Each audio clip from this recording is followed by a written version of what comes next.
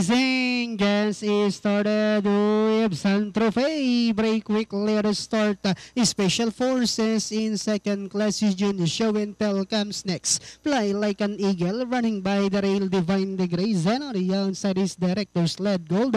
Chicks to chicks. Her Highness racing second less. While director's Donya is dearly trailer by about 12 lengths of the leader. Racing down the backstretch with the quick is riding Santrofe on its favorite position as the face setter, enjoying a four lengths lead. And in second is Fly like an eagle.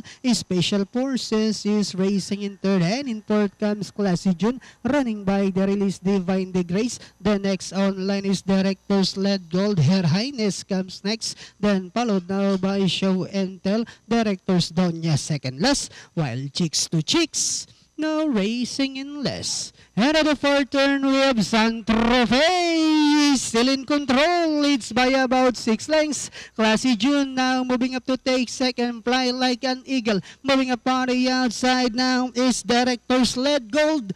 As they swing home, we have Santrofe by about four lengths. Classy June in second, fly like an eagle. Director's led gold is on the outside fourth. Last 75 meters, we have San Santrofe, followed by Classy June, and finally the program opener, Santrofe. Classy June, Director's led gold, fly like an eagle, Her Highness.